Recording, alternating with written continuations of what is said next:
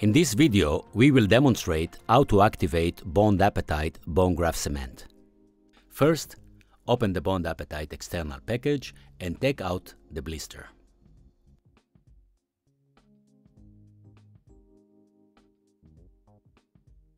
Now, detach the blister sealer and remove the Bond Apatite syringe from its blister. The syringe contains a shaft, a tube, cap, blue indicator line, and pistons.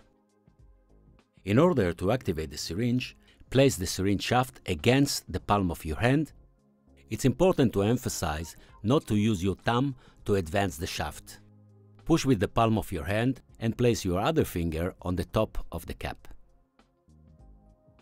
Now start advancing the shaft until the first piston reach the blue line.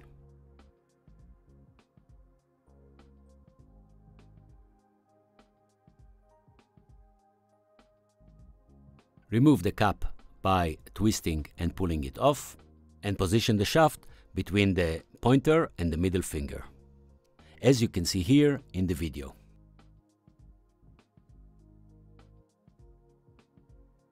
Afterward, approach the defect site in 45 degrees angle and start ejecting the material.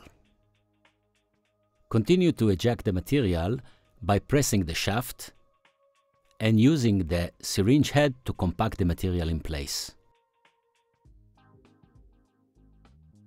Now, change position and press the shaft with the thumb to continue to expel the rest of the material into the site. Press firmly over the cement for 3 seconds using a dry sterile unfolded gauze and finger pressure. And now you're good to go with soft tissue coverage. For clinical application and indications, watch the Bond Apatite Protocols videos.